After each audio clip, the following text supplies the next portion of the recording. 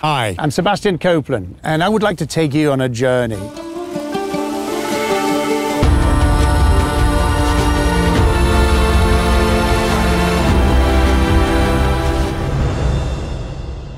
The Inuit first set foot on Greenland four to 5,000 years ago and make up 90% of its population.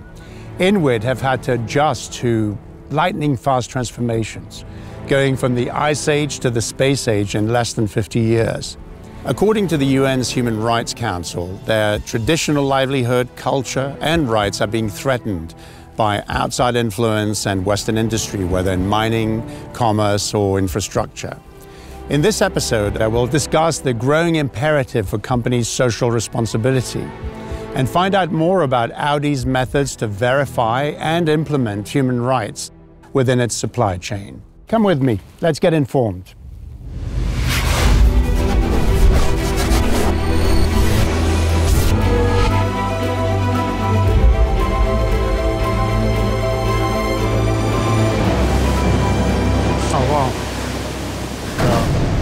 This is where the aluminium parts are cut into small pieces. How does um, this issue of human rights fit into the circular economy? Now you see there will be excess parts and the excess parts they can be recycled and that's the way we reduce also the use of raw materials.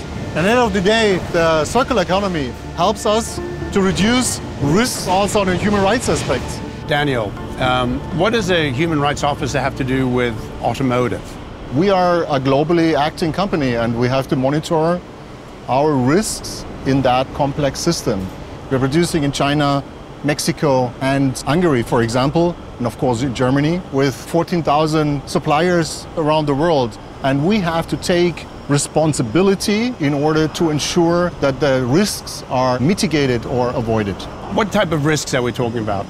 For example, child labor, equality in employment, so like fair wages, but it's also safety in the workplace and it expands to environmental aspects as long as they have an impact on human rights. But it must be quite complex. We have to understand also cultural differences, but we have to insist on our principles. And working with suppliers means that we have to set expectations. Could you expand a little bit on that? One of my first goals was to set up a human rights strategy to explain also to our stakeholders our expectations internally and externally and to set up uh, real good management systems in order to focus on human rights. Now, Daniel, you, you wanted to meet here. I'm assuming this is not your office, or is it? No, this is, of course, not my office, but I thought it would be good to understand the process the value chain, right, from the raw material to the production and then into the final setup of a car. Now, I'm curious, what does aluminium have to do with human rights? Right down here, we can see aluminium coils. Audi is part of the Aluminium Stewardship Initiative. The initiative is taking care that we set up global standards on sustainable performance. And it's about the chain of custody a chain of custody to ensure that one part to the other has the same standards. Now, I'll ask you a personal question on the topic. Do you think that this has a trickle down effect in communities or in societies? I think all the efforts we are doing and other companies are doing as well will help us to raise the system as such and to raise the awareness and the respect for human rights. Yeah, that's interesting, right? Because you're dealing on the one hand with, uh, you know, optimizing the bottom line, and on the other hand, there is a moral responsibility there. I think there is indeed a corporate uh, moral responsibility, but also every employee has to have that moral consciousness to understand when it's the right time to address topics. You know, I'd like to talk about the cultural gap that may exist. How does a company like Audi bridge these cultural differences? The first start point for me is to set the value points. Once we have set that, we can explain our expectations to our shareholders. But it starts to having a proper sound strategy and then explaining that through the supply chain to our suppliers, to our partners. We have to get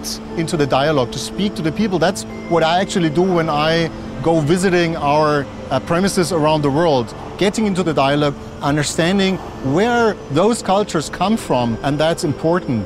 I think once you are aware of a risk or a violation, then to address it and to use our whistleblower system, for example, or the supply chain grievance mechanism. And do you have uh, enforcement mechanisms? The code of conduct for all our employees, but also the code of conduct for our business partners. Through the code of conduct, expectations towards our suppliers is codified. We do uh, on-site checks to understand what processes are in place in order to fulfill our expectations. Daniel, if you were to sum up what you do at Audi and how you see your work, how would you do that?